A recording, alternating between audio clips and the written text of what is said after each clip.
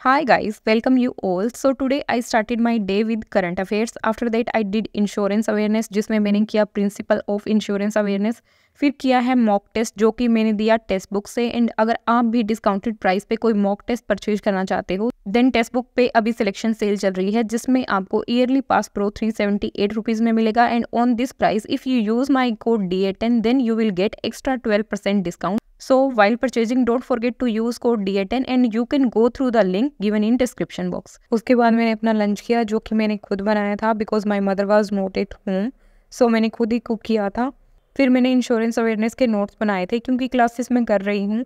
तो उसमें जो भी मुझे इंपॉर्टेंट लग रहा था उसके मैंने नोट्स बना लिए ताकि दोबारा से जब मैं रिवीजन करूँ तो थोड़ा ईजी रहे और एक ये भी है कि मुझे वीडियो बार बार ना देखना पड़े। क्योंकि अगर मैं इंपॉर्टेंट पॉइंट्स के नोट्स नहीं बनाऊँगी तो मुझे ये वीडियो दोबारा देखनी पड़ेगी। इसलिए मैंने अभी इनके नोट्स बना लिए। एंड ये देखो, इस पज़ल को मैंने कितनी बार बनाया, तब जाके ये सोल्व हुई है। एंड ये जो वॉक कैब मैंने लिखी हुई है, मैंने एनालिसिस के टाइम लिखी है, जब मैंने मॉक टेस्ट एनालिसिस किया था, क्योंकि कई वर्ड्स ऐसे मुझे मिले जिनका मीनिंग मुझे नहीं पता था तो एक बार पढ़, एक बार मैंने उनको पढ़ लिया, उनका मीनिंग देख लिया एंड रफली लिख लिया, ताकि मुझे रिटेन रहे। एंड आज मैंने प्रिंसिपल ऑफ़ इंडेमिनिटी पढ़ा था एंड कोइंसिडेंटली ये सेम वर्ड मुझे मॉक टेस्ट में भी मिला तो इसको मैं कभी नहीं भूलने वाली क्योंकि एक मेमोरी मेरी इसके साथ क्रिएट हो चुकी है। So okay guys take care bye